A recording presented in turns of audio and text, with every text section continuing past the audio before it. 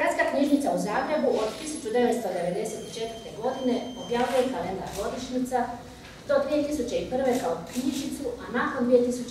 u elektroničkom izdanju.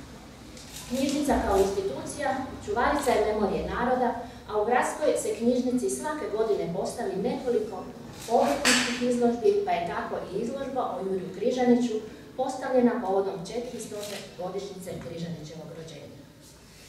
Koliko nam je poznato, prva je to izložba postavljena u Hrvatskoj u godini Jurija Križanića. Sve knjige, osim jedne, izložene na izložbi, vlasništvo su gradske knjižnice. Gradska knjižnica je ponosna na činjenicu da posjeduje prva izdanja Križanićevih knjiga tiskanih u Moskvi sredinom 19. stoljeća.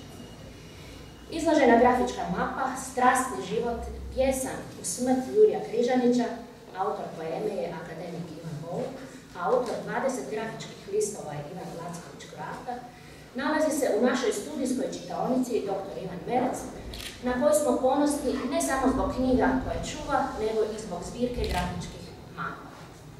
Od jednostavne činjenice koja se dugo nije izrekla, da je Križanić Ribničan voli plamen u našim srcima.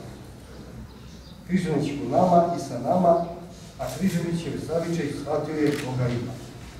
Općina Ribnik 2018. godinu proglasila je godinu Julija Križanića, a u prigodi 400 godišnjice njegova rođenja u obrhu izdala je kalendar za 2018. godinu koja je u cijelosti posvećen Križaniću. Sretni i ponosni želimo se dostojanstveno odužiti, dostojno odužiti najvećem Libričanu koje smo dali Hrvatskom narodu i svijetu. Juraj Jurko Križanić i Stari grad naše su robne marke koje malom Ribniku daju poseban značaj i da nadahnju prošle, sadašnje i buduće generacije, a njihov značaj i osobitost prelaze granice Ribnika i Hrvatske. I ovo danas svjedočimo zadnje. Što dalje, sve će više svjedočanstvo uočavati veličinu. Ova divna izložba na koju čestitam